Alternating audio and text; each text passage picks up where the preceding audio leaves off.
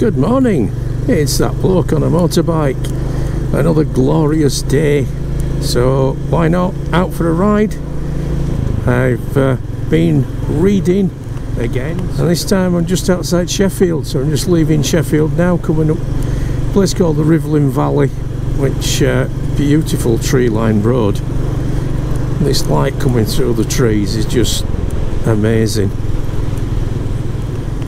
And this time I'm just outside Sheffield, so I'm just leaving Sheffield now, coming up a place called the Rivelin Valley, which uh, beautiful tree-lined road. This light coming through the trees is just amazing. It's quite a warm day today as well, although under these trees it's uh, nice and cool. So we're going to be. This is a cracking bend, is this one? Can really dig your tyres in there. Give it a good squirt of juice coming out. Everybody's out enjoying this late summer sunshine. We've had an absolutely terrible summer. Lots of rain, cold, and then just as the kids go back to school, we get this beautiful weather, which luckily I had uh, some time booked off work for. So I think at the moment I'm probably somewhere around about two miles outside Sheffield and we're already out into open countryside. It really is amazing the scenery around here and so glad I live in this area and can get to different places. I know a lot of you made comments that you have to drive particularly uh, somebody in Australia forgot your name mate sorry uh, was commenting that he had to drive a heck of a long distance time and mileage wise to get somewhere that's decent like this. So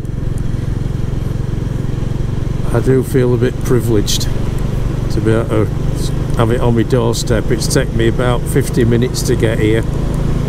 Just nice and steady drive.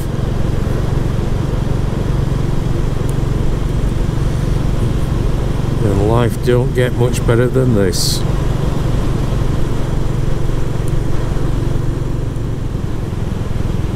looks very picturesque now but there used to be uh, loads of independent workshops doing metal work so it must have been choked with fumes and noise and all the rest of the paraphernalia that goes with it. So we just turned off the main road now Going up a very, very steep climb this and there's some uh, serious bends in it as well. That sun's blazing down. Can feel it through the visor. Just dropped some visor down. It's what you would really call an ivy road is this. Look at that view. You would not believe, would you, that we're just outside Sheff. That road in the bottom that we turned off was the uh, A6, A57 uh, Snake Pass, eventually.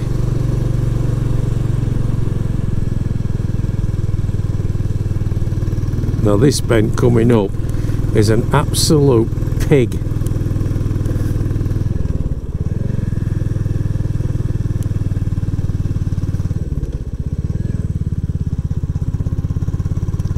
Sure there's nobody coming down the other way there because what I tend to do is just cut the corner.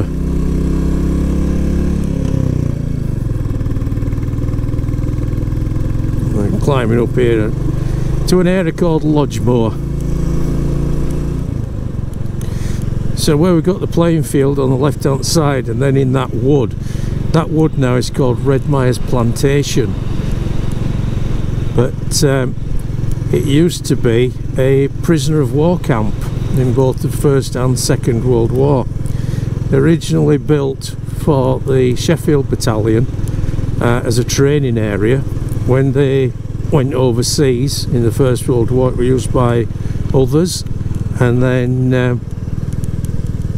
after that, uh, it was used as a prisoner of war camp. So just behind that stone wall on his left hand side. So World War One started off um, with German soldiers in there, and one famous one in October 1918 was Karl Dönitz. Uh, he was commander of a U-boat, the German submarines, and uh, he was captured and put in there. Now he went on to be commander of the German Navy, the Kriegsmarine, uh, and then at the end of the war, when Hitler killed himself, he became Chancellor. He also had two sons who were lost in submarines, so tragic for him. You know, I know he's a, a German and all the rest of it, Nazi party, but losing your kids is not good for whatever reason. Um, so during the war, or between the wars, I should say, when the First World War finished, uh, we went on to uh, peacetime. 1925, there was an outbreak of smallpox. Road ahead closed. Wonder how far I can get. There was uh, an outbreak of smallpox, uh, and Lodge Moor Hospital couldn't take all the patients, so some of them were housed there. So used for more humanitarian reasons. Then come the Second World War, was opened up again as a prison camp. Its name changed then to Lodge Lodgemore Camp. And uh, just looking at this road, it looks like it's shut. Yeah, it's closed. So we can't get up there to the the actual um, reservoir where the other part of the training camp was. So we'll spin it round here and I'll keep telling you about the, the story. So, yeah, it was mainly Italian prisoners that it held, and then the Italian prisoners were replaced by Germans, and it was a selection camp. So they classified Nazis as black and non-Nazis as white, so they put them in there to decide which was which. So we're still only about three miles from centre Sheffield, and we've got all this beautiful countryside and history. I think it's a nice little plodding day today for Ivy and me. That road up there looks amazing. That's where we're gonna go.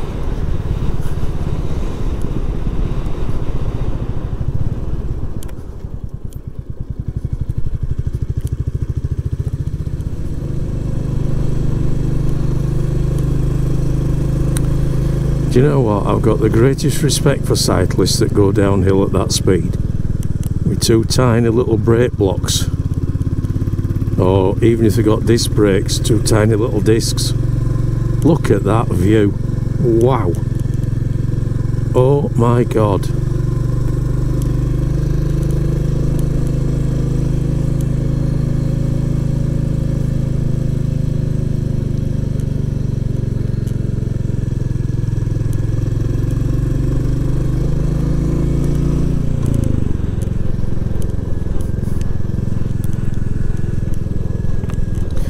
just going to pull up here? Then you can have a look.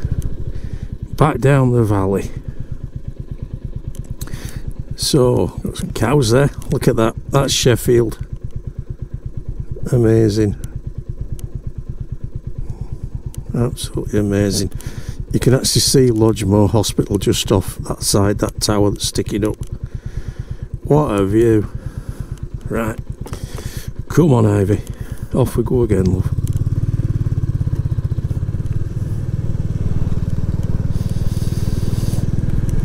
do you do get some uh, different smells when you're out in the countryside. One minute you've got the sweet smell of the grass that's been turned over and drying in this beautiful sunshine. And then the next you go past and you can smell what's going to be put on the land to regenerate it. Absolutely stunning. I do wish sometimes that my head could work like an owl and just spin round so I could see all this lot.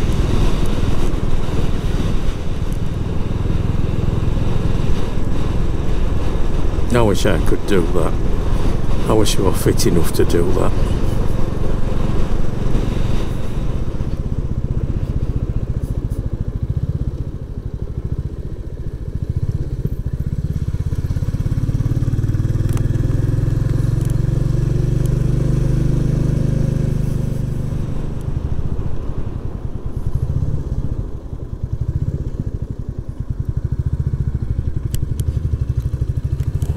Uncharted territories yet again.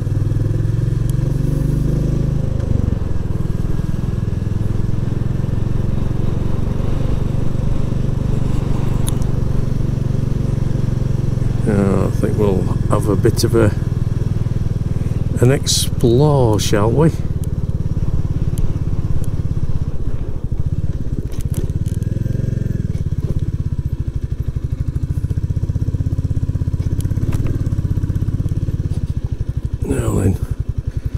This is supposedly not too bad, a little off-road route.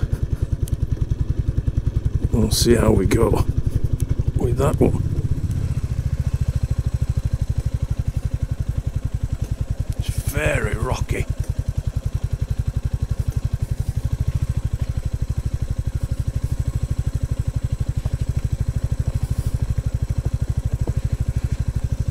Reminds me a little bit of uh, up in Lake District when I went on that road up to Helvellyn.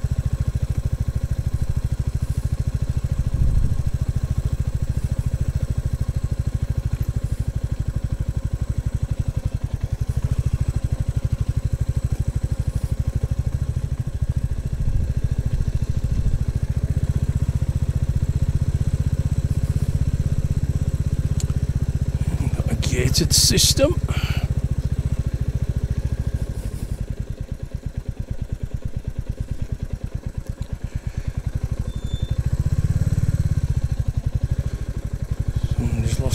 Glasses there. Right, open the gate.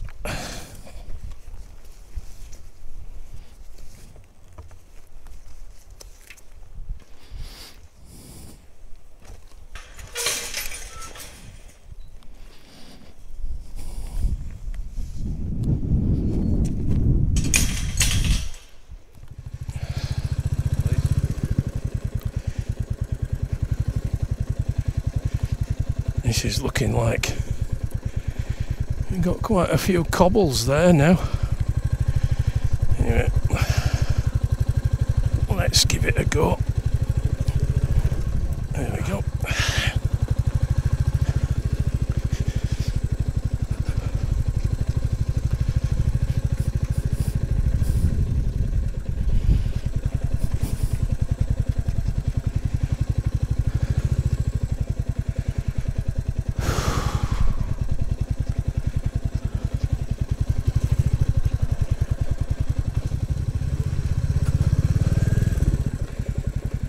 It's one of those things that seems like a a good idea at the time.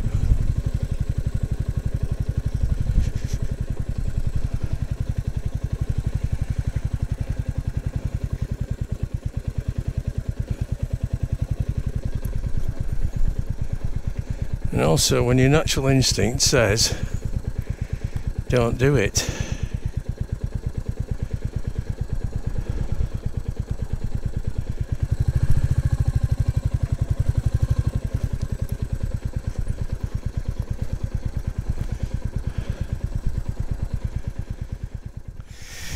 Right, so the uh, the track got progressively worse. Um, if it had been on a different bike, uh, I might have attempted it on a Lane or something like that. But I'm not willing to risk damaging my beloved Ivy. But just look at that. That down there is Sheffield. You can see how close we are. I've just seen an amazing stag. It came over the ridge uh, where we can see there just over the top uh, and walked across and I, I just looked at it. It was magnificent. Huge antlers on it. Just so quiet as it was walking. No sound at all. So really really nice. So what we'll do we'll go a little bit further. Uh, and do no a way around so not a problem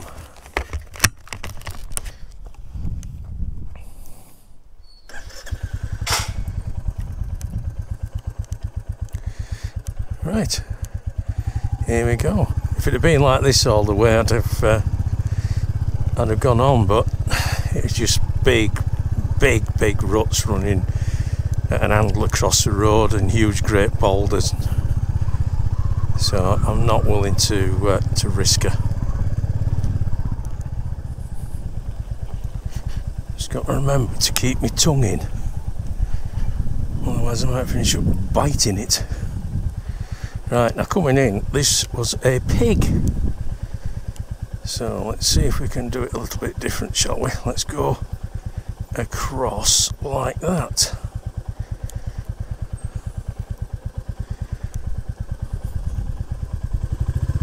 At least it'll be easier this time because I've got my feet where they actually go onto high ground.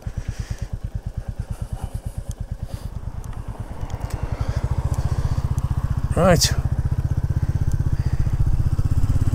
There we go, my little darling. You're back on the flat stuff.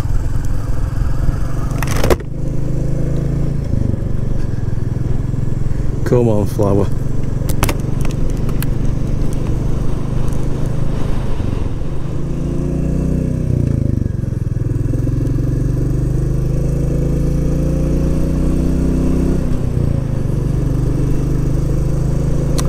I think from here what I'm going to do is make my way around a bit of a meandering route but I'm going to go to the station cafe at Grindleford which is the first ever video that I put up on this channel was going to the station cafe for a chip butty.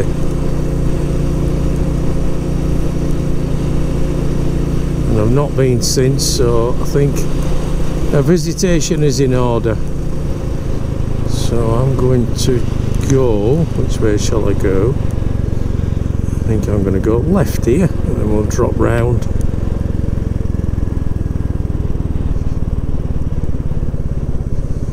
We'll go for a spot of lunch or dinner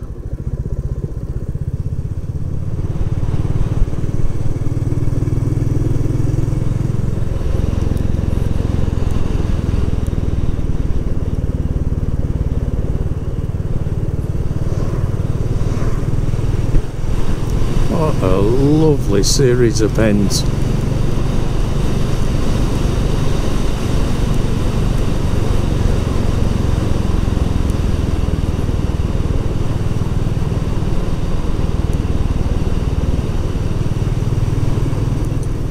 Oh, I just dropped into Grindleford now.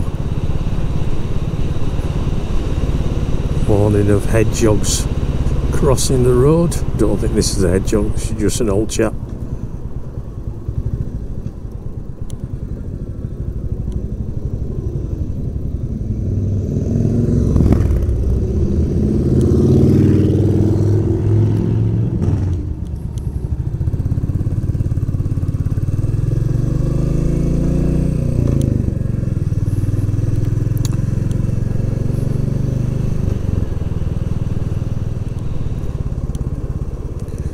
Again on a weekend this is absolutely rammed.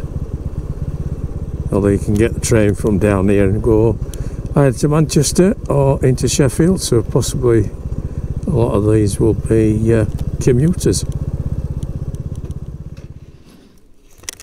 Right I'm going to go get a coffee and some food. I'll see you in a bit folks. Oh, that was absolutely wonderful. I had ham, egg, chips and salad and a cup of coffee. It was very, very nice. So I am really full now. Ivy will be struggling with me on her now. No, you won't, will you, Flower? Okay, so to climb up this tree-lined road out of Grindleford, I think I'm uh, I'm going to call it for this particular ride.